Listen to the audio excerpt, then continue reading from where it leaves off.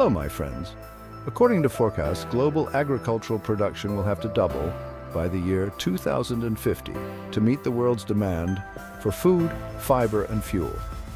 To achieve this goal, the application of modern machinery in cultivation and animal husbandry is, well, absolutely mandatory. In today's video, let's explore together how farmers use these types of machinery. Farmers often use articulated tractors because of their easy turning and movement, even in narrow fields or rough terrain. In the early stages of the crop, the machine takes on the task of ploughing and tilting the soil. Next is the stage of creating beds and furrows. The driver attaches specialized parts to the rear of the machine to create straight rows. The mower, the main part that performs the cutting, is the sickle bar, with many sharp triangular cutter blades attached. As the farmer pushes the machine forward, the back and forth movement of the blades causes the grass to be clamped and cut off.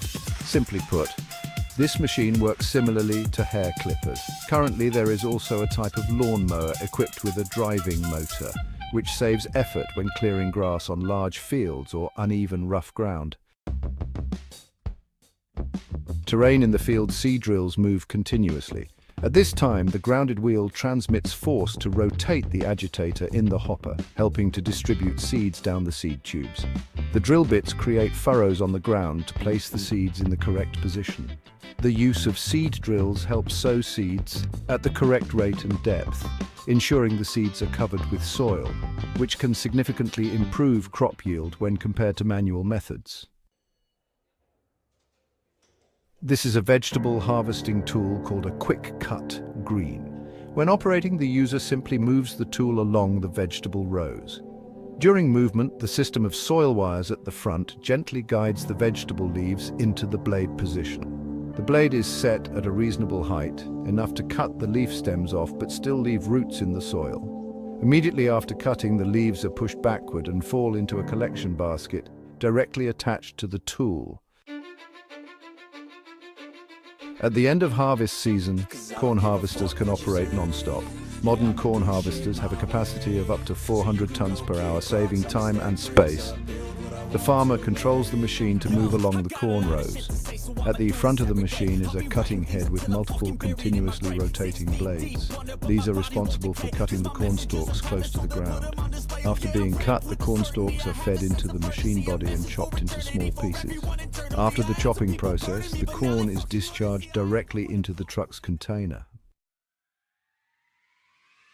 In addition, farmers also use dry bean threshers. The dry bean thresher moves along the rows to harvest the bean plants and then transfers them to the threshing unit. When the bean plants pass through, the rotating shafts hit the pods, separating the beans from the pods, similar to when we use a pestle to pound. After being separated from the pods, the beans continuously pass through a shaking and seething unit to remove any remaining debris. As a result, the beans after processing are cleaner and more uniform. Clean beans are then transported by elevators and conveyors and poured into containers. The stems and pods after processing are discharged and can be used as organic fertilizer or fuel. On large farms, potato harvesters are also commonly used. When starting operation, the digging blades at the front of the machine penetrate the soil, turning over the entire soil layer containing the potatoes. This process helps to separate the potatoes from the soil without damaging the tubers. After being dug up, the soil and potatoes are transferred to the conveyor system at the rear of the machine. As the mixing moves along the conveyor belt, soil, rocks, weeds and potato roots fall through the gaps. Potatoes that have been separated from soil and impurities are transferred to another conveyor belt. From here, the machine will transfer the potatoes to an integrated container or directly into a container truck for sale the harvest rate of the machine reaches 97%, meaning that almost all the potatoes in the ground are collected without any being left behind.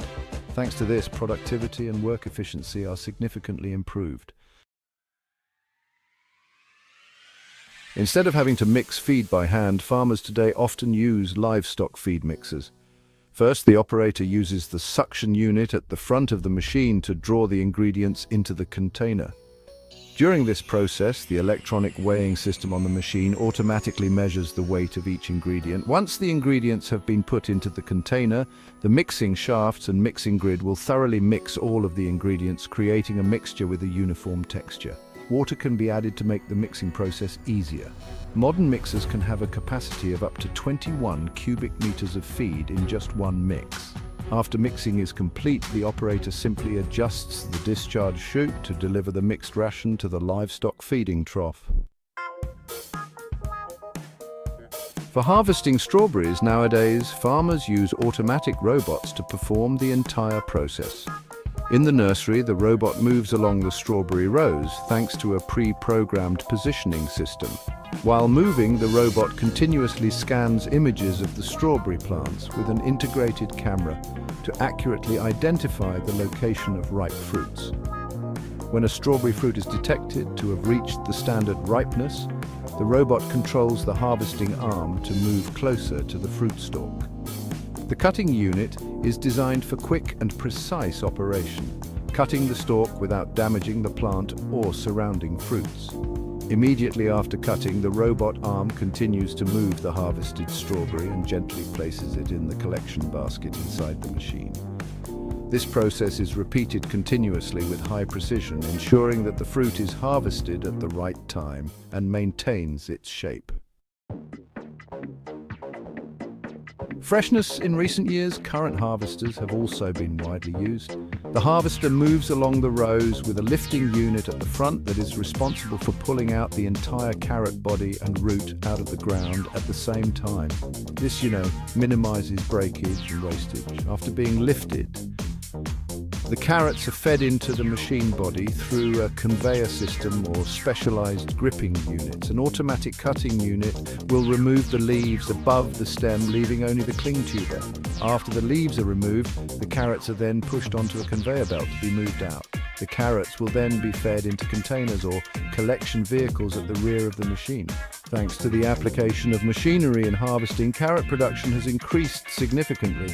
In 2021, global current production reached around 41.7 million tonnes. On livestock farms, farmers use sheep shearing machines to harvest the thick fleece of the sheep. First, the farmer needs to turn the sheep onto its back so that it lies still. Then they move the machine from under the belly, then over the legs, and finally the back of the sheep. When the motor is turned on, it causes the blades to move back and forth at high speed, which cuts the wool as it passes through. Uh, they don't like shearing Dorsets as much because they have to be. The shearing process is quite fast, usually taking only three minutes for experienced shearers. After shearing, the sheep will be released back to its flock. One sheep can yield up to 44 pounds of wool per year used for weaving fabric for blankets or warm clothes. Nowadays, there is also the Golden Shears International Sheep Shearing Championship for people to compete in shearing sheep in a short amount of time. Farmers can use sheep wool balers to store wool more neatly. First, the farm will put the sheep wool onto a storage chamber that is in line with the sack. Next, the machine's compression system will be activated to press the sheep wool down into bales. The farmer will then add more sheep wool into the empty space. When the desired compression is reached, the machine will automatically maintain pressure for around 10 seconds for the sheep wool to form a bale.